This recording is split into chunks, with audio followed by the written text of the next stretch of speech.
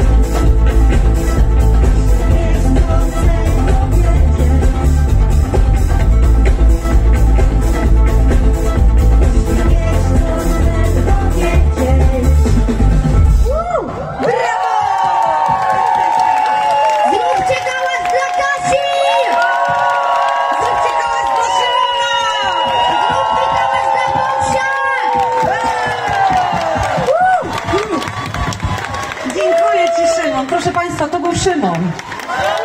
Wygrałeś bursztynowego słowika, Fryderyka i wszystkie inne nagrody.